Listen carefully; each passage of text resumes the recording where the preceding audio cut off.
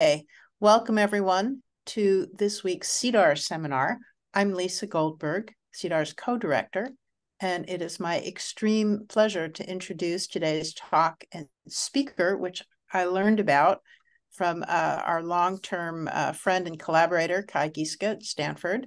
Uh, Kay sent me uh, a paper about based on machine learning, obviously uh, right in the set of topics we love uh, looking at uh, here. And uh, presenting today is going to be Emmanuel Plat- of the University of Bath, a paper with several co-authors listed here. And uh, Emmanuel's topic is When Bayes-Stein Meets Machine Learning, a generalized approach for portfolio optimization. So uh, please listen in. And if you have questions, uh, the speaker has uh, invited interruptions and discussion all the way along. So go for it. And uh, please, Emmanuel, uh, take it from here. Uh, thank you, Lisa. So thank you very much for your kind invitation and to everyone for attending today's um, seminar. So the uh, title is When Bayes-Stein Meets Machine Learning. So we'll talk about both portfolio optimization and uh, machine learning. And this paper is co-authored with uh, Gerry Tsoukalas from uh, Wharton and Boston University and two colleagues, Dimitrios and Hauran from uh, Herg University uh, of Bath. Okay. So uh, regarding some key points, um, we try to argue that fintech is not funded. So we try um, to provide some transparency on what we are doing. Okay, so when uh, we do incorporate uh, machine learning uh, into portfolio optimization, and this is also part of our uh, empirical analysis that's gonna follow uh, later on. So this is going to be the structure of today's talk. So first we'll start with motivation. So why it is important uh, to incorporate some machine learning aspects into the Bayes-Stein portfolio optimization framework. Then we'll carry on with the contribution, methodology, data, empirical results, and in the end, we're going to conclude. Uh, very well known that the vanilla version of Markowitz mean variance portfolio optimization suffers from many uh, issues, and this is what we call estimation risk, the input parameters of the portfolio optimization uh, process. So in fact, um, when we have historical data and we make the inputs, okay, up to today, um, for the case of Markowitz, the mean returns and the covariance matrix, um, up to today, we estimate them, okay, and in sample, this model performs perfectly well. However, when we do compute the weights, the portfolio weights, and we try to um, use them out of samples. So next period can be next day, next month, etc., etc. This is gonna be a process full of estimation errors, and if we repeat that process for a certain uh, time horizon, then we see that actually most of the time this Sharpe ratio is gonna be uh, negative. So those are the main issues regarding uh, Markowitz mean variance portfolio optimization, and we call them estimation risk uh, in the input uh, parameters of the portfolio optimization uh, procedure. Okay. So there have been several alternatives to this literature. And um, a very popular model is the Bayes-Stein model of Philippe Jorion that has been published in JFK back in the 1980s. And this is actually a shrinkage for portfolio optimization. Okay, however, uh, when we'll deep um, we'll dig deeper into that model, we'll see that it suffers from many issues because although this is a very intuitive and uh, theoretical uh, technique, uh, most of the input parameters when we want to use the, to use this model in practice uh, actually depend on high historical estimates that suffer from um, estimation risk. And this is the uh, representation, mathematical representation of the model. Uh, here we see the mean return, how this is estimated, okay? And here is the shrinkage factor. Mu s, this input, is the vector of sample mean returns, and mu g here is the mean return of the global mean variance portfolio. Now, why this is the global mean variance portfolio? Because the effect of estimation risk when we compute the um, variance covariance matrix is much less than when we estimate the mean returns. And we see that when g equals one, okay, this term disappears and we have just that term and vice versa. And uh, the shrinkage factor lies in the range between 0 and 1, uh, where in the original Bayes-Stein model of Philippe Jorion, we have a closed form solution of the shrinkage factor that is given by this uh, formula in here. Okay, and the uh, variance covariance matrix is the sample estimate where uh, we do have this because we cannot uh, estimate it precisely. So we start from that, okay? So this is a clear form of shrinkage, okay?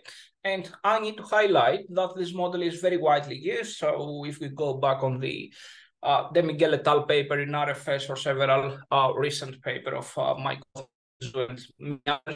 uh, you'll see that they use very widely this model mostly for uh, benchmark purposes. So this is a good chance uh, to try to expand this and to see if we can make it actually work. Okay.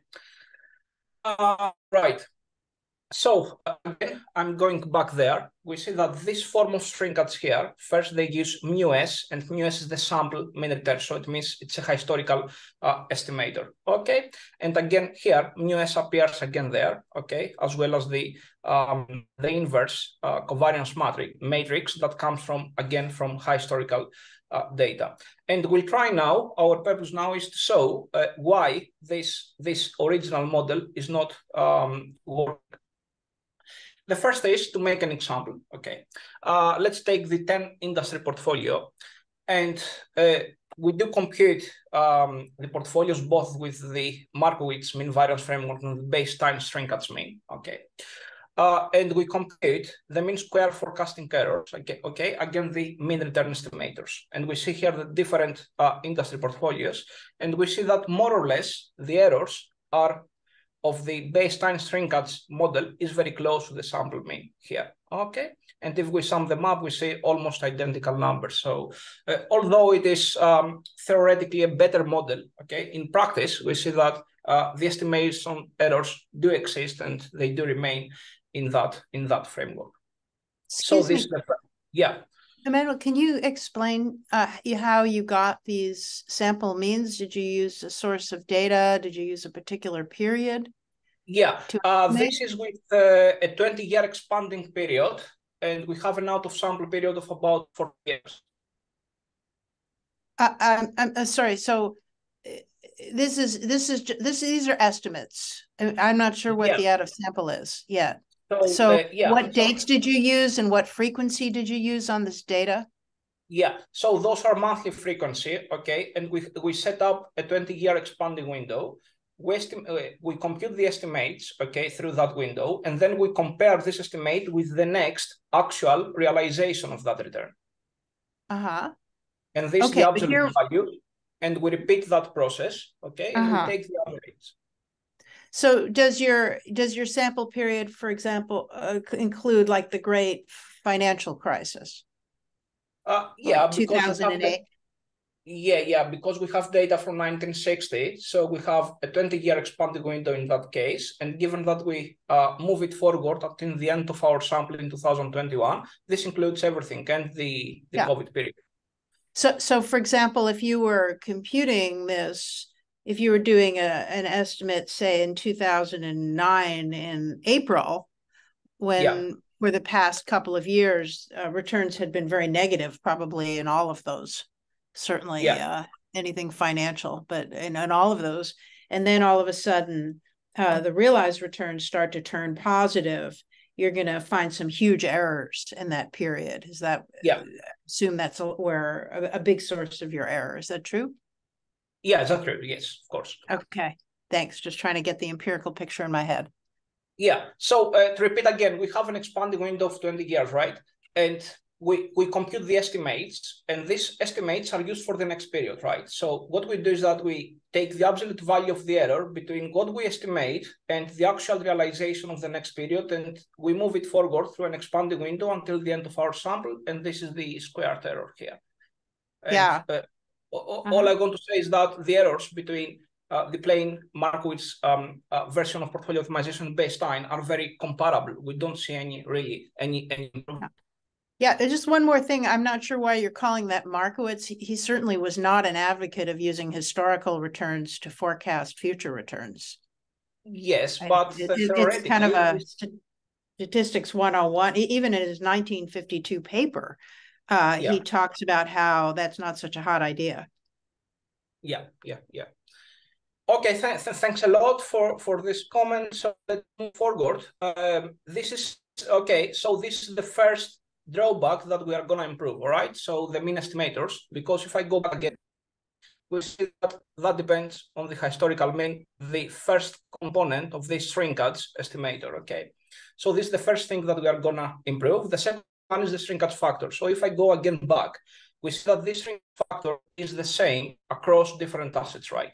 Uh, however, this is not convenient and efficient because, you know, uh, if we have uh, a certain number of assets in our portfolio, probably uh, some of them can be can be grouped uh, into certain certain clusters, right? So maybe some of them are homogeneous uh, with a couple of others. So for this reason, uh, we Okay, so this is the out of sample uh, period for the example of 10 industry portfolios. We have several portfolios in our results. We say um, it, it moves, okay, between, um, theoretically it moves between zero and one. Here it moves between uh, 0.45 and 0.7, 0.75.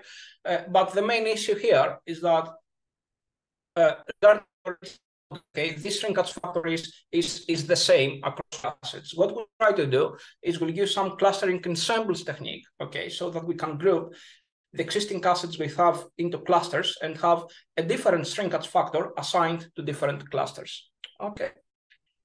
The third one uh, is about the inverse covariance matrix, where if I'm going back again, we see that the inverse is here, okay, in the string shrinkage estimator. And when we have the um, uh, we have the formula for the optimization.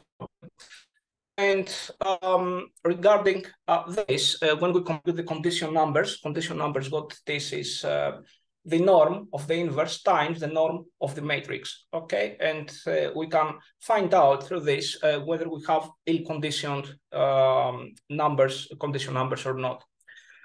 And again, uh, by using, by um, doing exactly the same before, we the our expanding window and we roll it forward, we move it forward until the end of our sample, we see that actually the mean and the standard deviation of these condition numbers when comparing between the sample estimator and the Bayes-Stein estimator of the inverse covariance matrices, okay? Because actually in the optimization, we want uh, the inverse. We say uh, that this number are, are, are, huge. Okay, so the, the, there are there are huge estimation errors uh, within them. Between the historical the versus we see actually.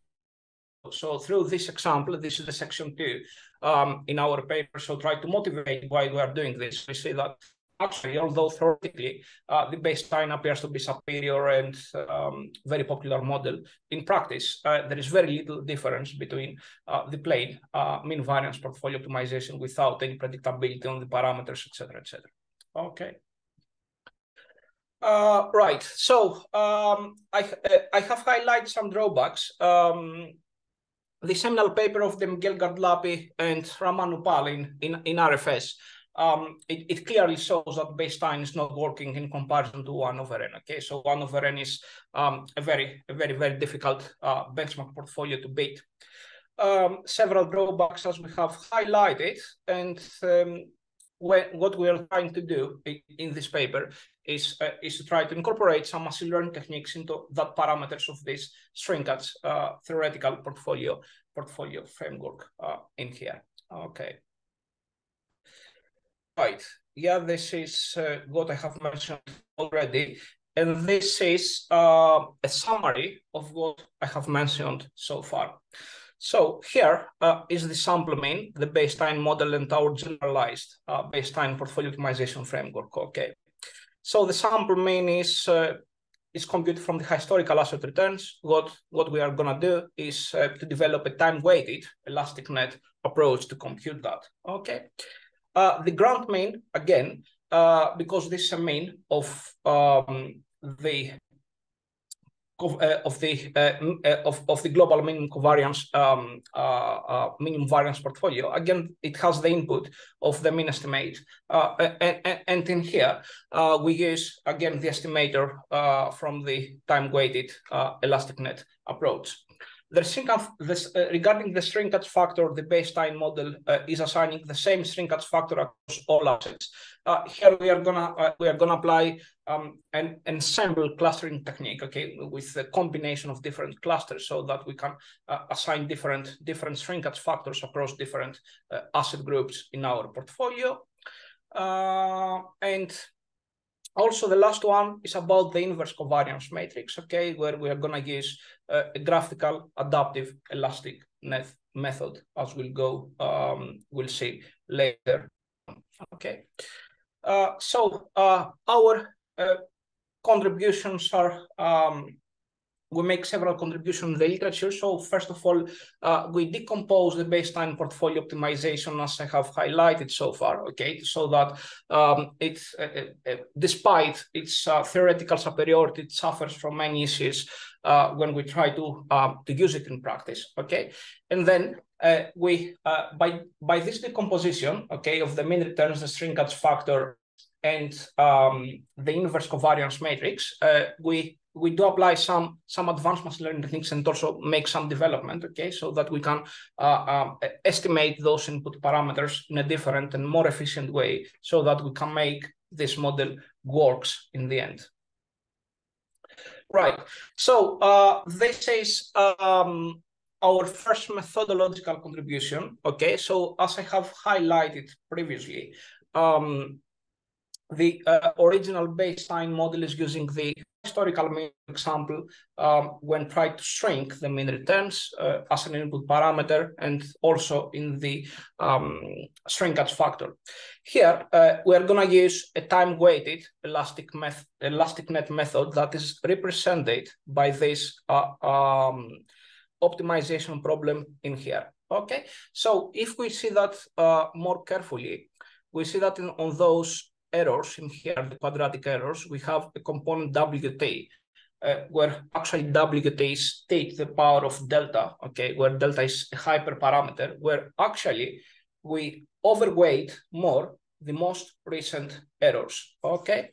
So it is t to the power of delta, and this component in here, uh, this is the tuning parameter, okay?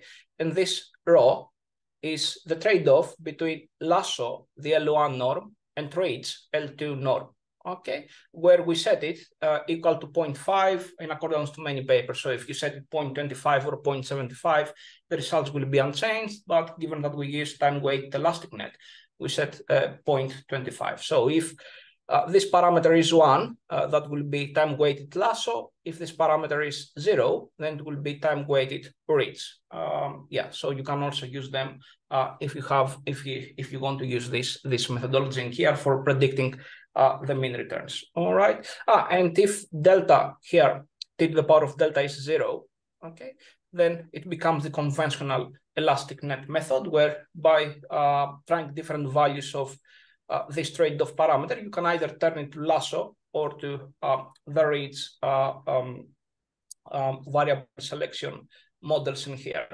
Now, um, one thing is how we are going to estimate those hyperparameters in the tuning parameter. We have uh, actually three steps. Okay, the first step, step is about the uh, training period. So we uh, every time we have an expanding window, okay, we're expanding over time, we cut it to the half, okay? And the first half is about the training, and the second half is about the validation uh, period. Right, so uh, in here, the first stage to estimate delta, okay? Delta is, is over there.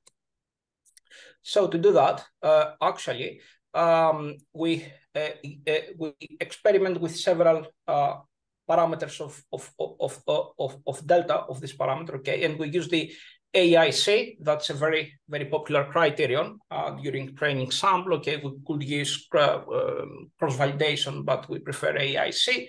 Uh, in here where the formula is there, and for each uh, value of delta, we can estimate the parameter in here, okay?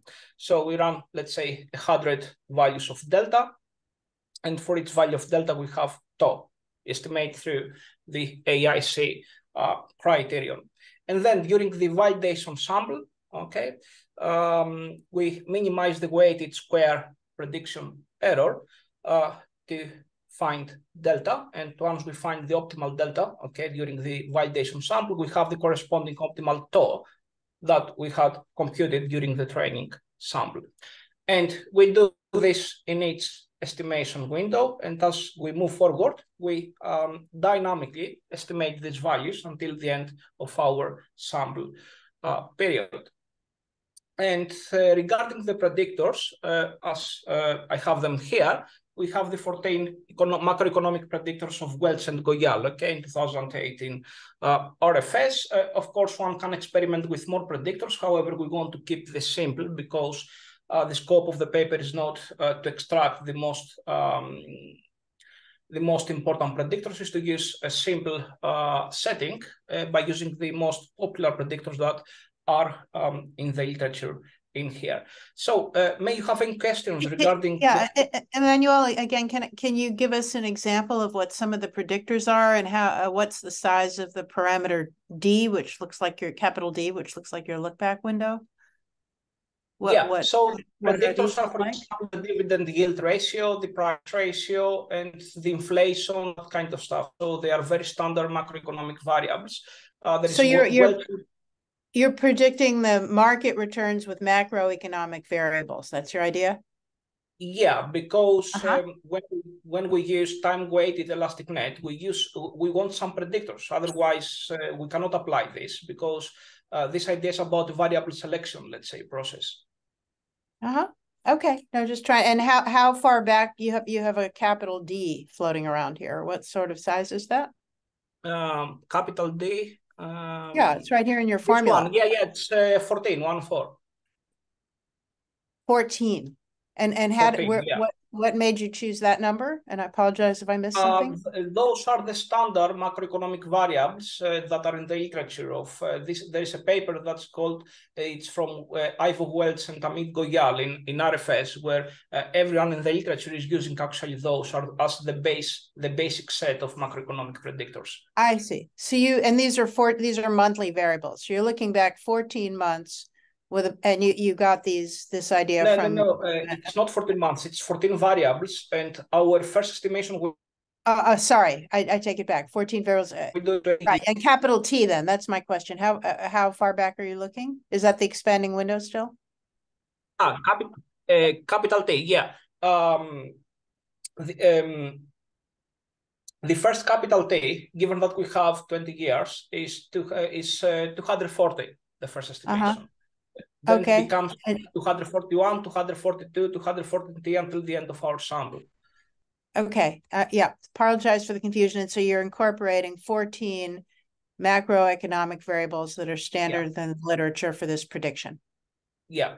Yeah. Got it. Uh, Thank you. Uh, Thank you. So uh, otherwise, you know, this is a variable selection uh, uh, uh framework. So we need some predictors so that we can shrink them. So this is the idea.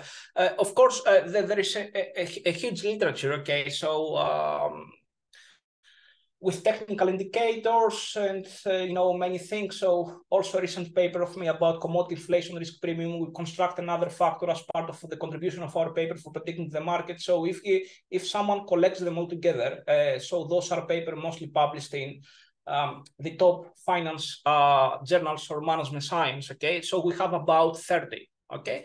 But we want to keep this uh, th this setting simple regarding the predictors because you know it's highly possible that one can play with data mining right? So maybe one predictor will do very well of the results. That's why we just use the very basic set not other uh, more sophisticated predictors that do exist in the market.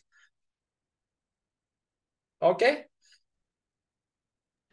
Yeah um sorry just had a quick question. Um yeah. just for the um, setting of the problem, just to understand correctly, we have 14 um, variables, and are we trying to allocate a particular weight across those 14 indicators? Yeah, so um, this this time weight elastic net will shrink some of the predictors to zero during time.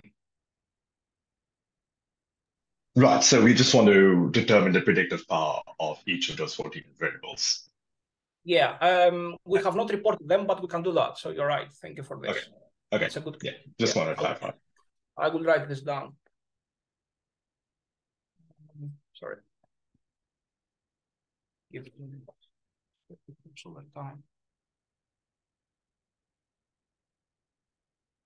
Okay, thank, thanks for this. Yeah, that's good. Okay, so here with the process uh, regarding training and validation. And this is the first, actually, our first addition to the theoretical baseline uh, model that we want to. Okay, so uh, the second one is going to be a bit more complicated, okay, uh, regarding the, the process, but I will try to explain it in, in simple uh, words um, in here. So uh, if I go back the main model, we see that this shrinkage factor is the same across all assets, right? However, um, there is um, certain papers in the literature, okay, where they do argue if we try to cluster them, okay, into certain groups, uh, the assets in our portfolio, we repeat the process, then that uh, may benefit um, our out of sample performance. Has been reported here. So we have a frame a framework like this. Okay. Right. So uh, when you hear about clusters, uh, you may think about different techniques, okay? And if we start applying each of those techniques into a portfolio of assets, okay, uh, I'm sure that each of each of these will, will produce different results, all right? So uh, what we'll try to do is to develop a framework so that we can combine those base clusters in such a way so that we have an optimal solutions solution. Okay.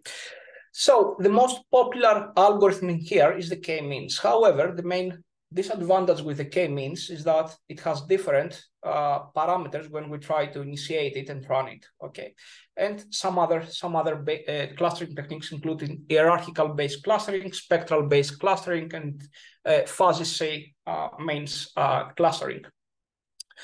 So we have a framework where we first deal with the k-means clustering, okay, from the sense that we use different initial parameters, okay, so we have, let's say, a thousand different sets of clusters, okay, and then once we try to combine them, then again, we mix them with other techniques and we repeat, we repeat the process, okay.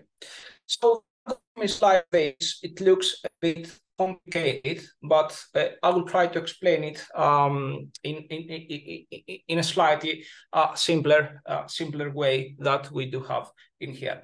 So imagine that we have k-means clustering one, k-means clustering two, k-means clustering, I don't know, a hundred, a thousand, etc., etc. okay, by trying different initial uh, parameters because those, those, those clustering techniques do suffer from those issues. Now, what we do is that we want to select those of the techniques that they produce high um, intra clustering power and low inter uh, clustering power. Okay, so in order to do this, called Kalinske Harabas score. Okay, and what we do is that we apply this across the different clustering techniques. Okay, and in the first stage, we um, we select those of the clusters uh, that are higher than a certain threshold of score that we have set. Okay, so this is the first filtering step.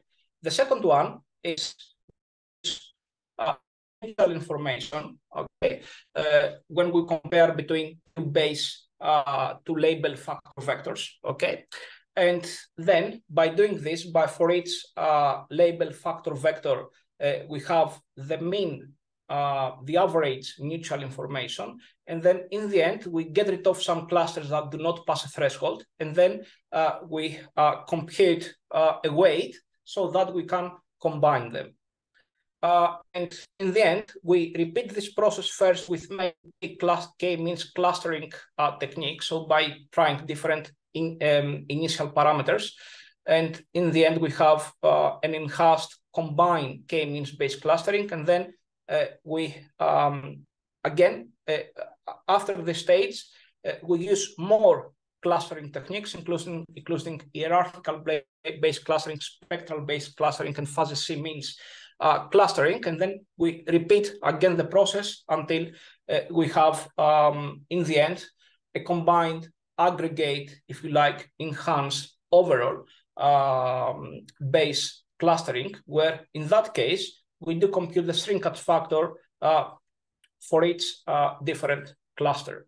Uh, I don't know if this is clear, the process, or if you want me to repeat anything. You can please let me know, it will be great. No, I think that that's uh, a tough diagram and was very clear. Thank you. Okay, great.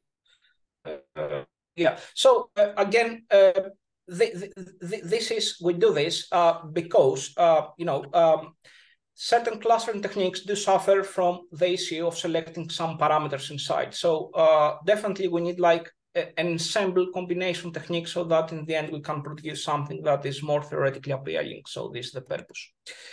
And the last one, the last methodological contribution is about the inverse covariance matrix. So uh, I have read um, a very interesting paper from um, from uh, Lisa uh, when uh, actually they have they, they, they play with with the eigen uh, the eigen values of matrices and try to impose some upper bounds. I'm correct with this.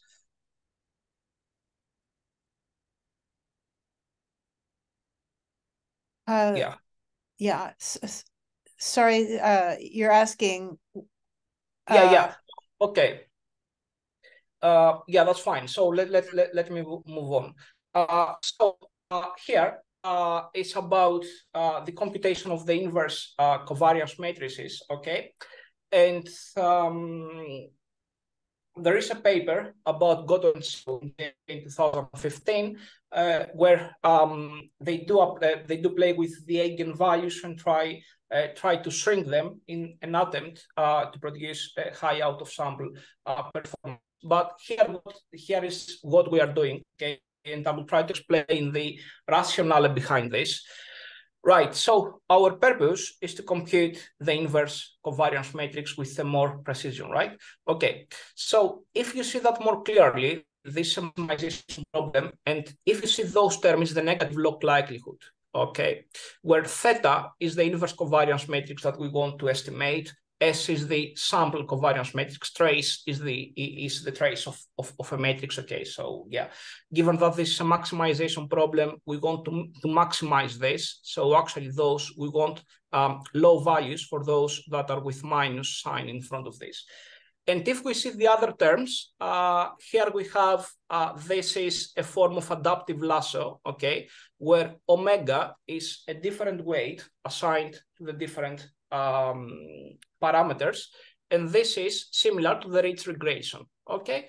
It will be, um, it will be elastic net if we didn't have this omega in here the weight. But given that we adjust this weight, okay, when it is imposed on uh, as a penalty, if you like, on those estimates in here, that's why we call it adaptive uh, elastic net, graphical adaptive elastic net algorithm for a, a more precise estimator of the inverse uh, covariance matrix. So um, if we want to solve it, we have some closed form solution of this omega, okay, that is given by that one.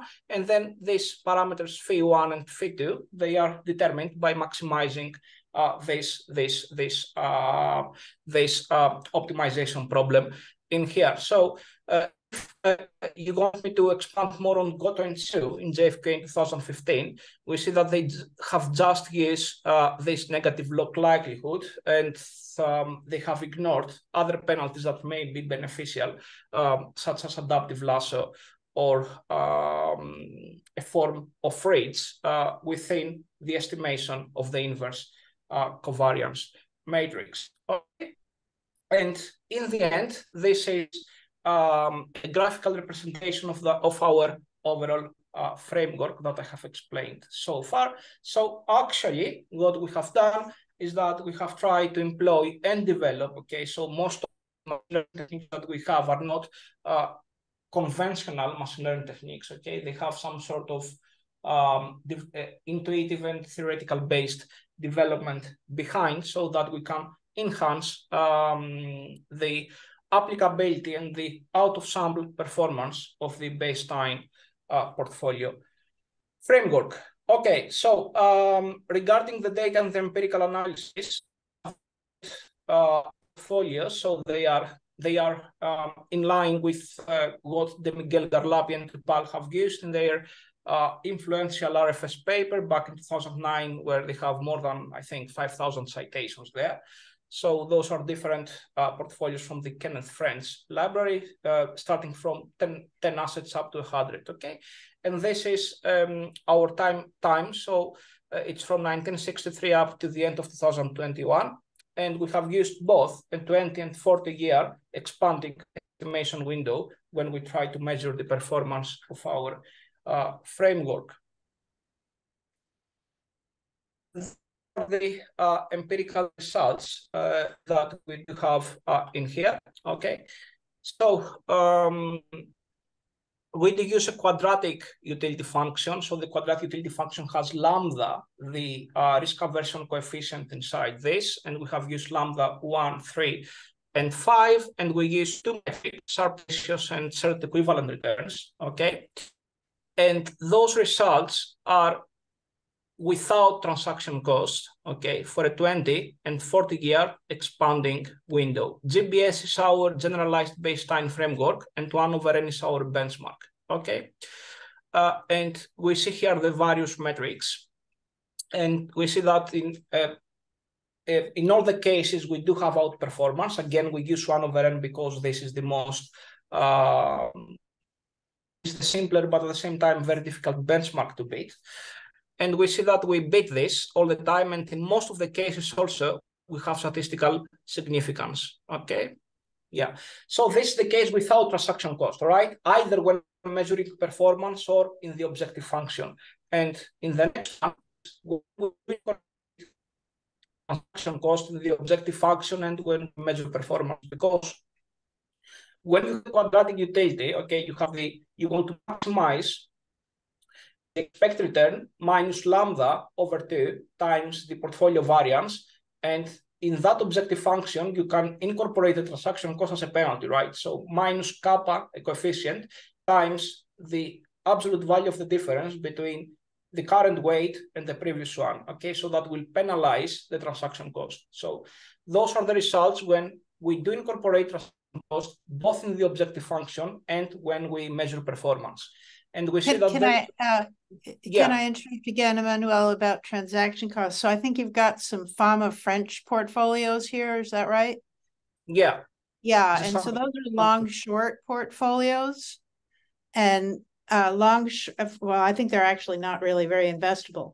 But even if they, if you wanted to try to invest in those portfolios, you would have to short securities. So have you taken account of any of the shorting costs or financing costs that might be associated with those portfolios? Uh, no, we just have used them as the RFS paper. Yeah, but you're right that in practice they they do have a, a transaction cost side. Yeah. They have costs beyond trade. I think you're taking account of some kind of trading cost related to turnover if I'm listening. Yeah. Uh, so the, yeah, exactly. So the transaction cost in our case is just the turnover when we do rebalance the portfolio. Yeah. Right. Okay. Thank you. Yeah, but you, you are right on this. Plus, if you want to invest on momentum or uh, you know value growth portfolios, uh, you need um, you need uh, there, there are there are trading costs there. So you're right. Thank you for this. Yeah. So uh, yes, that one. So uh, yes, again, I repeat, uh, when we say transaction cost, we mean both in the objective function we measure performance and as Lisa said, regarding the turnover of the portfolio. Now, the second part of uh, of our analysis is, uh, okay, we have, let's say, we added three components Bayes-Stein model, right? So the first is on the mean returns when we predict them. So uh, the Bayes-Stein is using the historical stuff. Okay, we use the time-weighted elastic net method as we have explained. We have the shrinkage factor where with some clustering, uh, we try to allocate, uh, we try to estimate a different shrinkage factor across uh, different like group of assets within our portfolio.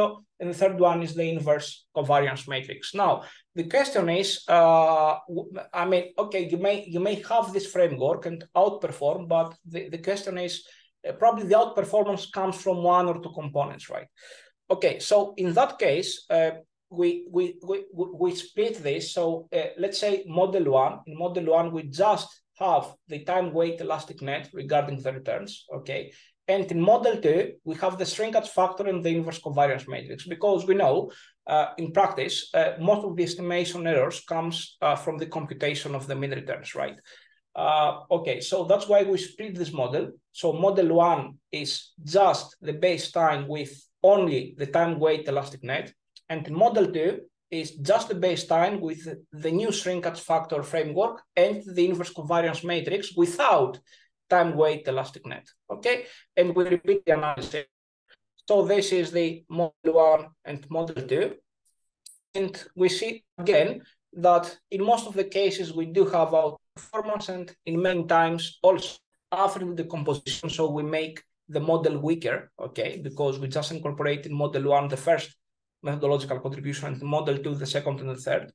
Uh, but we see that in both cases, um, most of the time we do have a performance that is also statistically significant, and we use a standard test of statistical significance from DeMiguel et al. in 2009 in, in, in RFS.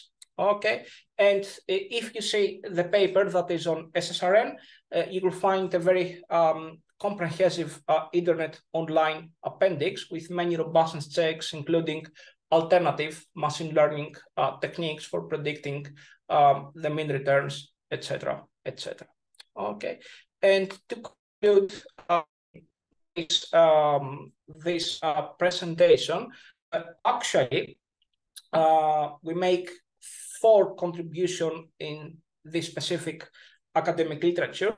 The first is to decompose the Bayes-Stein shrinkage portfolio framework and to theoretically show the drawbacks. Okay, so after we have identified the drawbacks, first on the mean return, second in the estimation of the shrinkage factor, and third on how they do compute the inverse covariance matrix, we do develop and apply some tailored to our cases machine learning techniques and to try to make it work. And we demonstrate this through uh, a standard but comprehensive empirical analysis that uh, we have in the paper. So this is actually the end. If you have any questions, I will be very happy to, to answer. Uh, well, uh, first of all, thank you for that uh, tour de force. I, there, um, do you know, have you run uh, this? You have um, what you call out of sample tests, but I wonder if you've run something that I like to call out of model tests, like you eh, cut yourself off from any development whatsoever and start uh, following your results either with paper portfolio or better with live money. Um, do the um, ha have you run any tests like that? Uh, not really, but what do you mean by out of model? Because the first time I hear about this. Yeah, well, it's something that we do in industry. So in industry, okay. we use a lot of models. And of course, when we buy the models, they're forecasting something, they give us out of sample tests that look very okay. good. Always. Why else would they be selling us something? And why else would we be buying it? So what we like to do is to take their model away from them, away from the modelers, completely away from them. And then we start running our own out of sample tests. And we call that out of model tests because we've really deprived everybody of the ability to monkey with it. And oh. to see if, if the new out of sample tests actually look like the reported out of sample tests. So mm. Um, I've never, um, they, they don't usually. Uh, but I, I, I think it, it's actually often hard to pinpoint the source of this because, of course, when we run out of sample tests, we're trying very hard to make sure we don't corrupt our tests with any look ahead bias, and it, it's just hard to do that. Okay, so yeah, uh, that's um, very interesting. yeah, thank you very much for this. Ha ha happy to to uh, to talk more of that. It's not something I see much in academics but I, I do think it's a good practice. You really like you need a separate team. It's almost like you hand a black box off and then yeah. let a period of time go by where somebody who has no nothing invested in it tests it and it, it can be eye-opening um, so that especially given there's a lot of complexity here um, so that was one of my questions uh, another of my questions is that you're using, um, uh, if I understand correctly, kind of testing uh, with relatively small dimensional covariance matrices, like the 10 sectors or something. And in, in practice, you might have a larger dimensional covariance matrix. And I'm wondering if you've thought a little bit about how to how to handle a larger dimensional covariance matrix. Yeah, uh, actually, our framework theoretically will be even more superior when we have uh, more dimensions on this. Uh, so some of our uh, uh, portfolios are up to 100 assets, but of course, -huh. we can test something greater. Yeah. Okay. Um, those were my questions. Can I? I'd like to open it up to the uh, audience. there are two questions in the chat, but I'll get to them in a second. So I have um, a, a, question. Um, yeah. With two parts. The first is how many different machine learning methods did you use? Did you go straight to ElasticNet or did you try other machine learning methods? Uh, for for the mean returns, we have developed a time-weighted elastic net because we have a component that is t to the power of delta in the error component, the first component, uh, and then we train and validate it. So it is not the same with uh, the elastic net; it's an expansion of elastic net. No, I understand, but you used um, you only investigated ElasticNet as a method of yeah. ElasticNet is uh, most uh, ElasticNet based is mostly on the returns and the covariance. Okay, because actually we we add this ElasticNet on the negative log likelihood, the optimization for the inverse covariance. Uh, but for the clustering stuff is different because uh, we do use a multiple filtering process so that in the end we can end up with uh, a more efficient base clustering label uh, factor vector. So yeah, uh, ElasticNet is, is incorporated in the first and the third part. In the second part about the shrinkage is something different. I ask because it seems like you optimized over a number of different clustering methods. Yeah. Did I understand that correctly?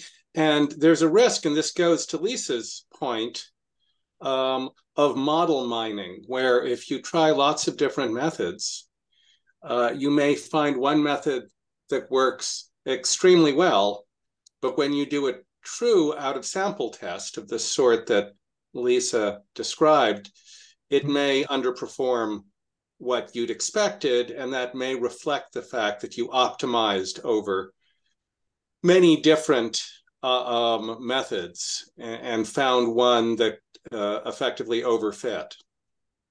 Yeah, yeah, you're right with this. Uh, we have tried to provide as much transparency as possible within this paper, uh, but yeah, this is a direction for improvement. Uh, you're absolutely right with this. Yeah. Thank, Thank you. you. Uh, Beho, looks like you've got a yeah. question. Um, Yes, uh, I have a practical question, I think. Uh, can you briefly tell us about the computational cost required to apply your method to your data set? Um, the lasso, the lasso is uh, mm, to run all of them, you want about one week altogether. A week. And one week, yeah. In, is the computational cost a function of the size? Mm -hmm including high performance computing in some cases. Okay. Wow. What, what, what is the bottleneck? Do you um, think? For example, in the lasso, if you want to have many values of delta, okay, so during the training period, you need to try, let's say, 10, eh, a thousand values of delta, and this needs to be done for each asset, for each expanding window, okay? And then after this, you need in the validation period to pick the optimal delta. Of course, we have taught that unique parameter previously, but you can you imagine this? That for each asset, we have an, a, a, a, period and we expand it. So for each period, you need to have a thousand, for each asset and for each period, we have, a thousand, let's say 1000 values of delta, okay? And this is repeated as we expand the window, and this is done for each asset in our portfolio. I see. Okay, uh, thank you. So um, yeah, we suffer a lot with this, and not only with that paper, but with other papers as well. I have, and uh, this is uh, a bit painful. Yeah. Thank you very much. No, no problem. Hi, Stefan. Please, please uh, ask your question. Hi. Yeah, thank you. Emmanuel, thank you for the presentation. Oh, thank uh, you. Just quickly, I have two questions, both relating to formula. I think it's 11. I wrote it down here. It's uh, regarding the elastic net for the uh, inverse covariance estimation. Uh, so the first question is, is it true uh, from what I see there in the formula, you do it element wise. So the regularizations are element wise. So does this mean that you don't really care about positive definiteness of this matrix? We haven't looked at this, but you're right that this is something that we can look at. Yeah. I mean, uh, uh, you don't need the inverse of this inverse, maybe in your algorithm. So maybe you don't need to care about the positive definiteness. But since um, it is an inverse of a positive definite matrix in theory, and maybe maybe it could be beneficial to look into how you can force it to be a positive definite matrix. I'm yeah. not sure. I actually wanted to ask if there's some intuition behind this or if you've looked into it. And then the second is also now you mentioned here, and since it is an elastic net, so there is lasso L1 regularization. Um, uh, you mentioned it's it's it's it, you want to have a sparse inverse. So is there some yeah. uh, sort of motivation for the sparsity of this inverse, especially since these are not very big matrices? Yeah. Um the issue is that estimation errors are related to the eigenvalues, right? So we want this, uh, we expand the negative log likelihood uh, method of Goto and Xu in JFQA by adding some more penalties. So this is mostly the motivation here. But you're right that in larger covariance matrix, maybe uh, we could show a more clear improvement. Yeah. Yeah. Okay. Okay. Thank you. Thank you. Uh uh, there was I had the same question about sparsity. Thank you for asking it, Stefan. But but uh, similarly, if if you don't have a positive definite matrix, even if you're not needing, uh, if you optimize, you will not have a unique solution. I believe, right? You will have non-uniqueness. Yeah. So I don't know if that's a that's a problem. Um, yeah, those things need to be checked. So you're right. Yeah. Yes. To, to enhance more what we, uh, how we describe and we are doing this. Yeah, exactly. Great. Thank you very much. Uh, okay. So uh, do we have any more questions? I'm not seeing them. There's some chatter uh, in the chat here, which I can say uh, the questions uh, do are the code and data uh, available for download? Um, the paper is currently under review in a journal, so definitely once it has been accepted, uh, we'll post them because in that particular journal, it's a requirement that uh, you make all your codes and data available to the public. Okay. Good yeah. choice of journal then. I'm a huge fan of that. So great, great for uh, only working with those journals. Uh, so yeah, please uh, do let us know. Um, Next question, do the authors have any work? Uh, sorry, do the authors have any work where they try to selection of macroeconomic variables and how do you deal with revisions? Um, those macroeconomic variables are standard data that they can be constructed through a Welch and Goyal paper where uh, one of the authors have, have those data posted and updated every April needs April. So yeah, of course, uh, I believe they they also update previous data every year. Uh, so we use the current setting not they they have. Okay, so for everyone who isn't reading the chat, thank you for that. Uh, Manuel, um, there's an article, Raymond suggests an article, Fanlu, Liao and Liu 2015, a survey on estimation of large covariance matrices, and there's a link uh, to the arXiv with a pointer towards section 3.1. Uh, and it, so please uh, do take a look at that if you're interested in large covariance yeah. matrices. And I yeah. personally cannot help but uh, mention our uh, James Stein for eigenvectors large covariance matrix estimation, which is in January PNAS, um, uh, SIAM, uh, financial uh, math, and about a dozen other places. So please check that out as well. Um, yeah, yeah. And yeah, uh, yeah, so that's I'm I'm through the chat here. Uh, do we have any more questions uh, from this group? And thank you everyone for for the great questions. Going once, twice.